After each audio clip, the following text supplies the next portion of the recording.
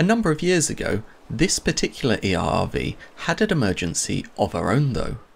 She was standing by an oil rig in the North Sea. The weather wasn't too bad, but it was enough that the ship spent the night rolling around.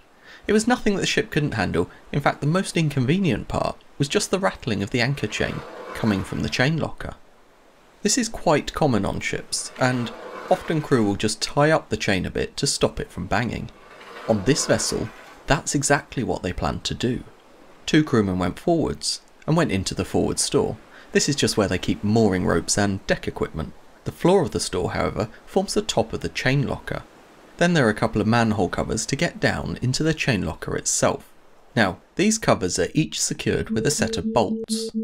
For any of you that has experience with these sort of things, that alone will be the biggest warning sign of what is about to happen. The crew removed a total of 18 bolts from the starboard manhole cover. They could then see inside and they could see the chain gently banging around. One crewman stayed outside with a radio and the other went in to put lashings onto the chain to stop the noise.